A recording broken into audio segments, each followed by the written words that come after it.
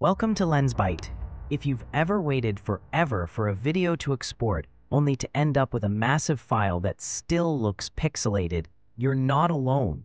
But what if I told you that you could cut your export time in half and reduce your file size without sacrificing a single pixel of quality? In this video, I'm giving you my exact export settings for Premiere Pro that crush file sizes and keep your videos looking buttery smooth in 4K, even on TikTok, YouTube Shorts, and Reel.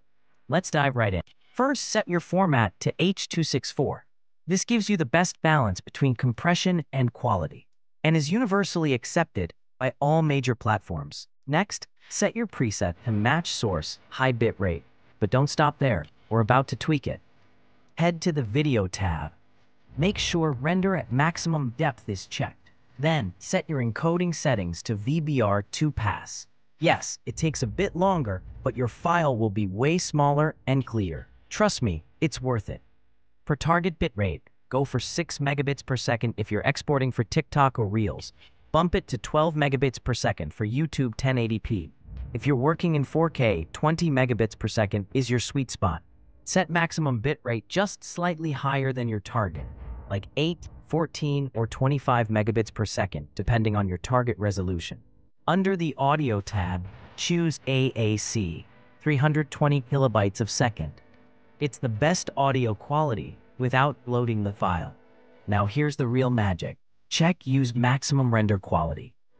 It doesn't make a difference if your source is already optimized, but if you've resized, scaled, or rotated your clips, it keeps everything crisp.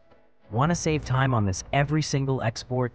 I've bundled all these export settings into a custom Premiere Pro preset you can download right now. Link is in the description. Totally free. Just click Import Preset in the export window, load it up, and you're ready to go. This single tweak has saved me hours per month on export time and upload delays, especially when working with mobile-first content. And if you're editing short-form videos regularly, like TikToks, Reels, or YouTube Shorts, this preset is an absolute must. It's optimized to give you perfect quality and small file sizes that upload lightning fast without looking like they were shot on a potato.